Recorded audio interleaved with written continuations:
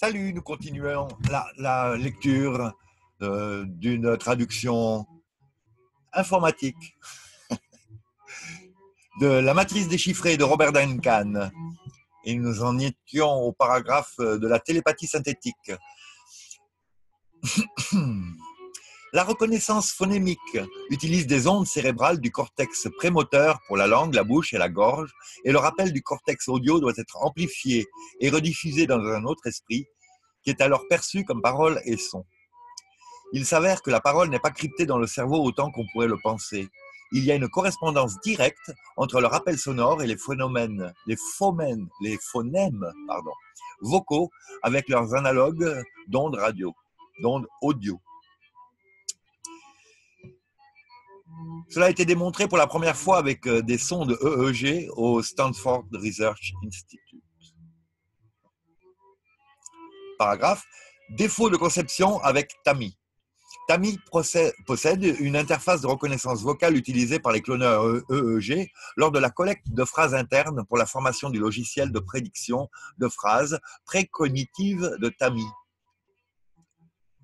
Le cloneur dirait Tais-toi, Tammy, comme une voix reconnue par ordinateur, afin d'augmenter les confidences de seuil de reconnaissance. Le problème avec la conception de l'interface est que l'attaquant peut être piraté par la cible. Le système ne fait aucune distinction entre les voix internes de l'esprit de groupe. Voir le piratage de l'interface de suivi du regard.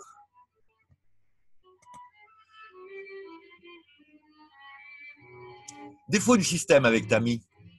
Comme tout système où un, signal est amplifié et renvoyé au capteur, des oscillations peuvent survenir, appelées rétroactions. Cela s'applique également aux ondes cérébrales amplifiées. Il travaille à trouver des solutions pour ces conditions de rétroaction. Deux exemples peuvent être trouvés dans la télépathie synthétique. Le premier type de boucle de rétroaction se produit au niveau de la phase où un écho décroissant de la phrase est entendu et répété. Le second est à un niveau de perception sonore. Presque tous ceux qui sont hétérodinés en EEG, et pas seulement clonés, entendent un acouphène à un moment donné. Si un cloneur psychique ne fait que reproduire vos ondes cérébrales sur la sienne, il n'y a pas de boucle de rétroaction. La rétroaction ne se produit que lorsque le médium essaye de vous influencer dans un verrou d'entraînement cérébral à deux voies. Les acouphènes sont causés par plusieurs signaux mais le son le plus fort est dû à la boucle de rétroaction générée par l'audition de l'hôte, amplifiée au parasite et mélangée à ses ondes cérébrales, puis amplifiée à nouveau et renvoyée à l'hôte. La fréquence de retour est généralement d'environ 11 111 Hz. Comme avec un microphone trop près d'un haut-parleur, ils ont trouvé des moyens inhabituels de briser la boucle de rétroaction. Le retour est automatiquement détecté et une fréquence de pulsation secondaire forte est injectée, légèrement en dehors de la fréquence de retour, ce qui surpasse la focalisation consciente sur la fréquence de base de la rétroaction. Ce léger changement d'attention dans le cerveau atténue l'atténuation de la fréquence des acouphènes et renvoie les signaux à des niveaux contrôlés et la télépathie synthétique peut à nouveau être entendue. Ce défaut peut être un point de défection et de défense. En utilisant un générateur de son, une cible peut identifier sa fréquence de retour. Jouer un son écrasant à la fréquence des acouphènes avec diverses modulations, de préférence dans chaque oreille, bloquera la boucle de rétroaction, rendant ainsi une voix à l'attaque du crâne vide. Cependant, le ring, la sonnerie agaçante est gênante et peut entraîner une diminution de l'attention aux tâches à accomplir. Une autre méthode mise au point par les concepteurs d'armes consiste à distraire l'attention des cibles de la fréquence de rétroaction à l'aide de secousses corporelles. Une séquence de petites secousses aléatoires commence automatiquement lorsque la fréquence de rétroaction est maintenue pendant quelques secondes. Cela peut amortir l'amplification des ondes cérébrales de ce signal afin de retrouver des communications bidirectionnelles. Les, signaux cérébraux de la perception du son qui provoquent un retour sont une transformation des fréquences réelles, de sorte que la pertinence de l'analogie d'un microphone trop proche du haut-parleur est limitée. Il existe, il existe des boucles de rétroaction plus longues dans les esprits de la ruche hétérodinée. Tout le monde a rencontré quelque chose comme ça en marchant dans la rue. Vous voyez un, piéton marche venant en sens inverse et vous virez à gauche. Au même moment, le piéton tourne à sa droite. Donc vous vous retrouvez face à face à nouveau. Hein. Vous répondez ensuite en corrigeant le contraire et en retour, et il le fait aussi. Vous vous, vous trouvez dans une danse comique avec un étranger. agissant synchrone et donc évidemment symétriquement et synchrone. La plupart des victimes du gouvernement pratiquent des programmes de torture et de meurtre. Donc, euh, ils ne pratiquent pas des programmes, ils subissent des programmes de torture et de meurtre. Les décès dus à des accidents de voiture, des crises cardiaques, des suicides et des cancers sont les causes les plus souvent justifiées par les responsables des programmes secrets. Décès. Bien qu'il existe de nombreuses tentatives délibérées pour faire planter des personnes, la plupart des accidents sont probablement causés par des effets secondaires. Conduire en parlant au téléphone cellulaire a été comparé à un état d'ébriété en termes des risques accrus dus à la distraction. De même, le harcèlement de la voix au crâne, la voix dans le crâne, de voice to skull, est une distraction beaucoup plus profonde avec des risques proportionnellement plus élevés. Mais une boucle anormale de rétroaction des intentions physiques se produit également, diminuant la capacité d'une cible à faire fonctionner un avion ou un véhicule correctement. Intéressant qu'il parle euh, des problèmes de pilotage peut-être tel que dans le MH370 Les participants à l'EEG ont tous les désirs de la fin de se gratter. Ont tous, ont tous besoin de se gratter. Ils sont bourrés de démangeaisons. Enfin bon, traduction aléatoire. Lorsqu'une personne conduit et appuie sur la pédale de gaz ou de frein, les autres personnes dans l'esprit de la ruche ont l'envie de se taper du pied. Leur envie de taper du pied est amplifiée au conducteur qui appuie alors plus fort. Ah euh, oui, ils veulent faire le même mouvement, qui, alors, qui appuie alors plus fort ou plus doucement sur le gaz. Cela amène à une conduite très saccadée. C'est la même danse comique qui se produit lorsque les piétons s'évitent. En ingénierie, ce système de rétroaction est appelé résonance ou instabilité en raison de la sous-atténuation du signal. En réponse à ces résonances cérébrales du plus haut niveau, de plus haut niveau, des méthodes de filtrage des ondes cérébrales sont en cours de développement pour atténuer toutes les anomalies qui surviennent dans les configurations les plus inutiles et les moins naturelles des cerveaux en cours de recherche. Et c'est comme ça que vos impôts sont gaspillés, ou en tout cas utilisés, et que les étrangers continuent à bénéficier de l'aide sociale. Tiens, c'est un sujet d'appoint aujourd'hui. En 2018, quand on voit la population qui débarque en Espagne. Chapitre suivant, ou en Italie, ou même en France d'ailleurs. Chapitre suivant, stupide truc alien. Les aliens se sont souvent amusés en laissant des indices dans leurs paroles pour leurs projets. L'une des phrases qu'ils ont répétées encore et encore, pour moi, était Vous êtes le seul. C'est une référence claire à Neo dans le film Matrix. Neo était celui que l'oracle avait prophétisé pour sauver les humains des machines. Bien que j'ai mené plus de recherches, à ma grande surprise, le ton des acouphènes nouvellement acquis était exactement 11 111. Les extraterrestres ont ri de ma découverte et cela n'a jamais été mentionné à nouveau. Je déteste les aliens. Donc euh, là, il, pourrait, il devrait y avoir une capture d'écran, mais bon,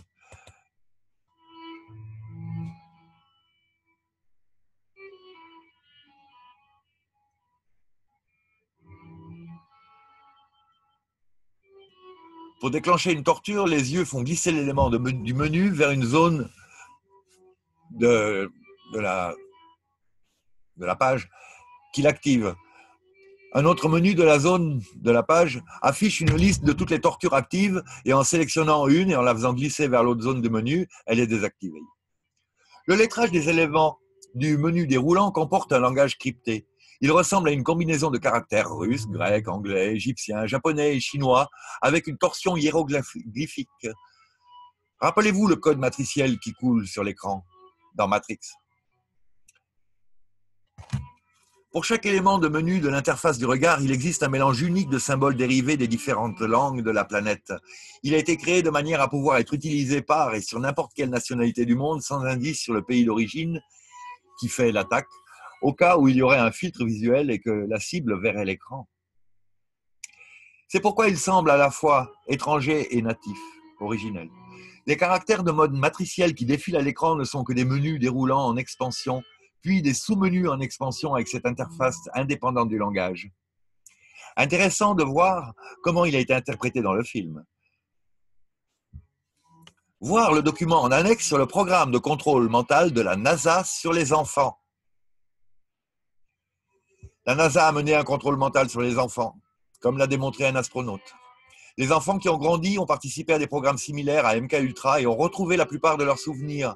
Un enfant qui a dit un enfant dit avoir été formé à lire les symboles intergalactiques développés par la NASA dans le but de communiquer avec les civilisations extraterrestres. Ce sont ces symboles qui sont utilisés sur l'interface de torture et de guerre psychique de Satan, et que j'ai vu et approximé dans les captures d'écran du film Matrix. Ils n'ont pas été développés pour parler à des extraterrestres, mais seulement aux méchants nés sur Terre.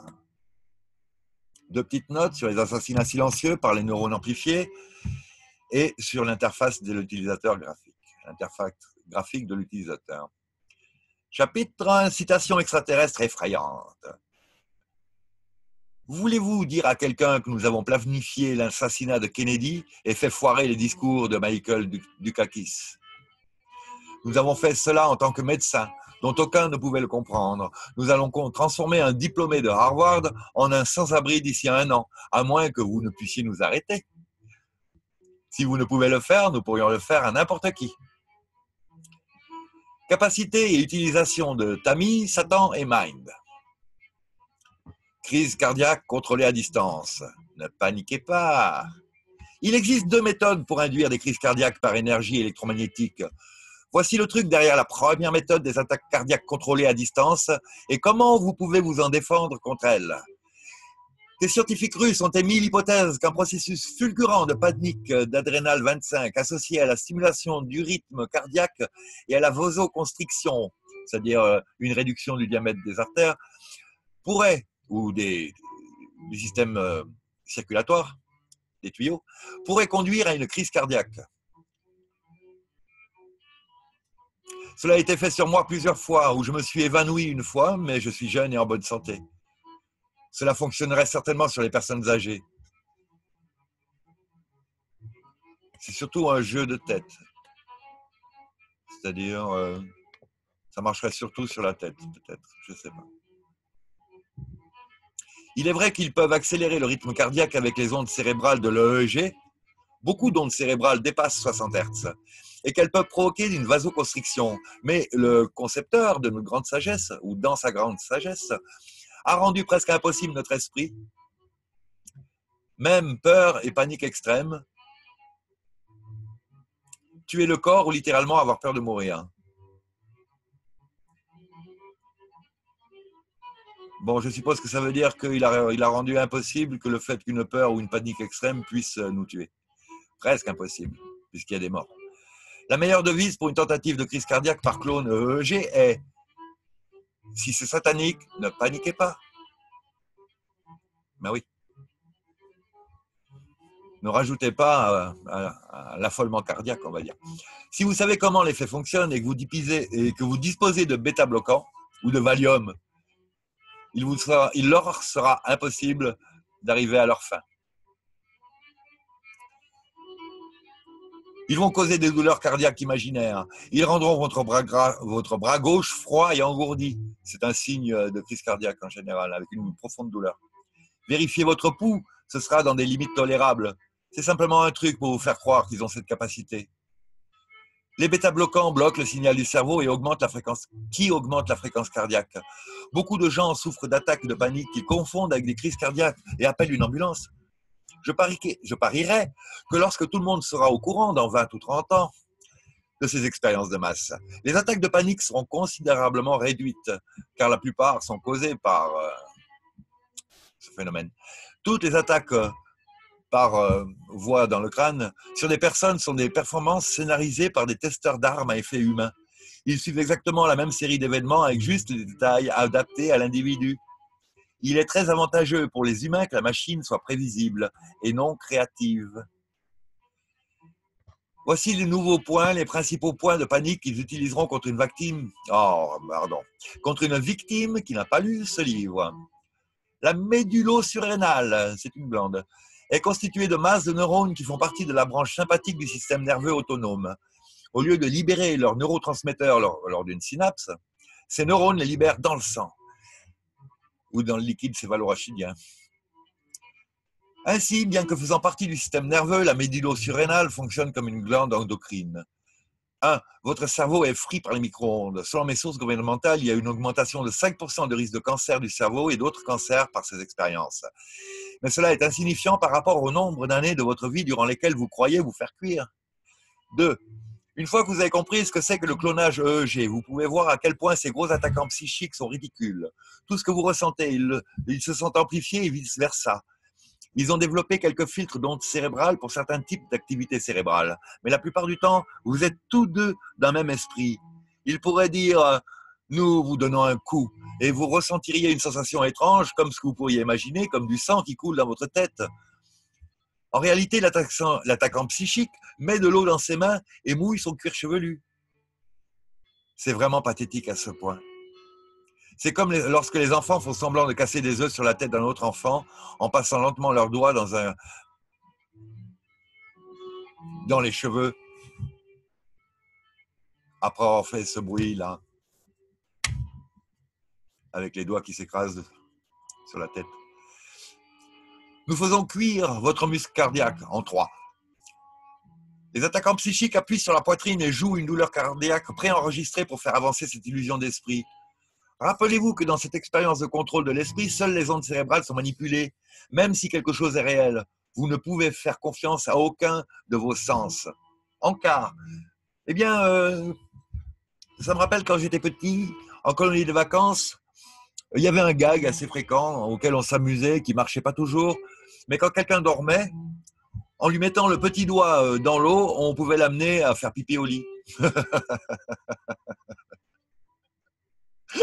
non, je trouve pas ça drôle. Mais bon, ce qui est drôle, c'est qu'on était déjà sur ce genre d'activité possible de transmission des sensations et qui implique une, une réaction induite. 4. Nous allons tuer toute votre famille et tous vos amis si vous le dites à quiconque. Bien au contraire, informer quelques amis de confiance de ce qui se passe vous empêcherait probablement de disparaître sans laisser de traces. Ne pas aller à la police ou au FBI. Ils vont vous enfermer dans un service psychiatrique cela devrait probablement aller pour toutes les victimes de viols, les viols mentaux ou physiques. La plupart des autorités ne sont pas assez intelligentes ou suffisamment éduquées pour comprendre la physique derrière ces armes. Des centaines de personnes ont essayé et échoué. Vous apprendrez à temps que toutes les menaces de la télépathie synthétique de la part des personnes basées en Virginie sont creuses. 5. S'ils sont capables d'élever votre niveau de sensibilité à la paranoïa grâce au programme de traque et aux menaces, vous commencerez à leur attribuer chaque événement malchanceux qui vous arrive. Cela crée une illusion qu'ils ont beaucoup de pouvoir sur votre vie. Soyez logique et pratiquez le double contrôle de vos conclusions. 6. Nous avons la police dans nos poches et ils vont vous droguer. Bien que quelques agents de la CIA et d'autres agents se présentent comme des patrouilleurs autorités en Californie, il n'y a pas toujours de raison de paniquer, car vous ne pouvez rien faire pour éviter ce niveau de corruption. Traitez-le, si cela se produit, le mieux possible. 7. Une fois qu'ils vous ont fait croire qu'ils vont vous détruire, et ainsi que tout ce que vous appréciez dans votre vie, votre esprit commence à réfléchir aux moyens de le faire. Le clonage EEG permet aux attaquants psychiques de lire chaque petite peur qui traverse votre esprit et s'ils sont, ils sont entraînés à les utiliser contre vous. Rappelez-vous de cela. La pensée positive pratiquée peut aider à, contrer ce genre d'attaque consistant à utiliser votre propre esprit contre vous. Oui, en cas. Euh, quand des gens euh, pénètrent chez vous et euh, cherchent par exemple un trésor et vous demandent où il est, très souvent instinctivement, vous allez jeter un regard furtif sur la zone vers laquelle euh, le trésor pourrait être caché. Eh bien, c'est la même chose là. C'est-à-dire, vous leur donnez même les renseignements qu'ils cherchent. Donc, quand on vous pose une question, contrairement à ce qu'on vous dit avec cet exemple débile, euh, comment ne pas penser à un éléphant si je vous dis de penser à un éléphant? Eh bien, quand on vous dit de penser à un éléphant, pensez à la souris. ou une libellule, ou à une mobilette. Où est-ce que vous avez mangé à midi. Ou foutez-le dehors de la maison, ou chassez-le de votre esprit, ou replongez au profond de vous-même, ressentez votre respiration, votre cœur, ou pincez-vous les lèvres, mordez-vous. Trouvez immédiatement un, stimuli ou une, activité qui soit supérieure en, en, urgence par rapport à, la question qu'il vous pose. de façon à ne leur donner aucun indice, entre autres. 8. L'imagerie visuelle des démons et le fait que les victimes rapportent comme des hologrammes ou des matérialisations sont souvent utilisés pour effrayer les types superstitieux et religieux. C'est la méthode traditionnelle d'imagerie fantôme et hantée. C'est ainsi que se crée votre purgatoire privé, comme l'a si clairement exprimé le porte-parole de Bush contre les républicains. Je ne veux pas perdre de vue le fait que le processus expérimental prolongé est incroyablement débilitant, à la fois en raison de la douleur constante et de la distraction grave du bruit dans la tête. Cela va pour le moins ruiner votre vie comme vous l'avez prévu.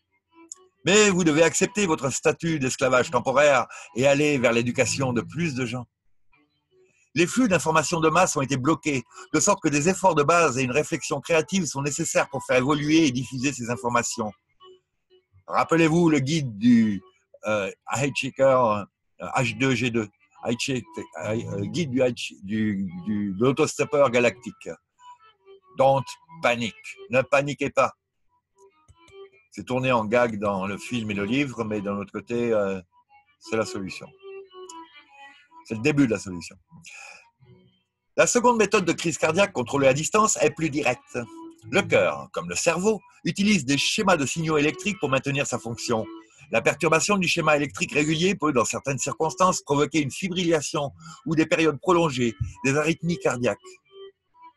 Des impulsions temporairement synchronisées ou une modulation de résonance électrique du cœur amèneront le cœur à sauter un battement ou, et à diminuer la force de compression globale de chaque systole, diastole. Bah, en fait. Euh, ces méthodes plus directes peuvent être contrecarrées par une épaisse veste de cuir que de nombreux survivants du test ont déclaré, ont, admis. Le cuir agit comme une peau externe et absorbe une grande partie de l'énergie du radar avant d'entrer dans le corps. Donc là, il nous faut une, une veste d'aviateur américain de l'époque en buffle. Cependant, j'étais un peu arrogant lorsque ces tentatives d'assassinat à distance et les ai laissés faire le pire pendant cinq heures jusqu'à ce qu'ils abandonnent et étaient convaincus que cette méthode n'était pas suffisante pour travailler sur moi. En quart, euh, c'était peut-être du buffalo hein, d'ailleurs, du bison quoi. Euh, de deux, ça me rappelle euh, que j'ai fait une petite vidéo sur quelqu'un, Tim Rifat, qui est un spécialiste de la psychotronique, entre autres, la guerre psychique en général, et euh, qui chez lui avait euh, carrément doublé toute une pièce euh, de plaques de tôle, je pense d'acier, de façon à avoir un effet supérieur à, l'aluminium d'une part et de bloquer toutes les composantes des fréquences électromagnétiques. Je reprends. Ces armes d'assassinat silencieux sont qualifiées de non létales, non mortelles, parce que leurs paramètres de suppression des effets secondaires ne sont pas toujours prévisibles. Oui, moi je rigolais euh, il y a quelque temps en disant non métal, enfin, c'est-à-dire on ne meurt pas tout de suite. Effectivement, à distance, on ne sait pas ce que ça donne comme effet. De la même manière, ils ne savent pas non plus euh, ce que provoque euh, cette arme qui génère un effet de cuisson superficielle de tout le corps pour dissiper les foules à distance hein, jusqu'à 250 mètres minimum, voire 500 mètres pour certains autres styles d'armes.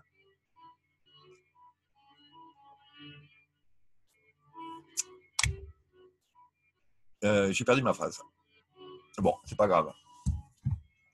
Ça me reviendra sûrement. Euh, excusez-moi. Paragraphe suivant, rester en vie. Eh bien, écoutez, euh, vu que je fais des vidéos qui sont souvent un peu longues, celle-ci, on va la garder courte. je vous remercie d'avoir suivi. Je vous souhaite bon courage. J'espère que vous avez pigé ce que j'ai lu, ainsi que les précisions que j'apporte avec mes encarts, pour le peu qu'elles aient un rapport avec ce que je venais de lire. Je vous souhaite donc bon courage et à bientôt si ça vous a plu assez pour vous revoir. Salut